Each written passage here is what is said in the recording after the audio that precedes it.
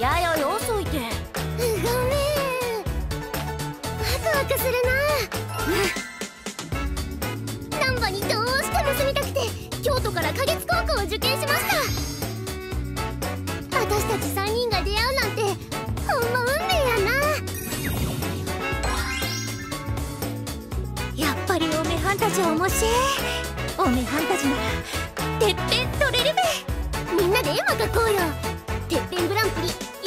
きますようにって。テレビアニメ「てっぺん」2022年7月より放送開始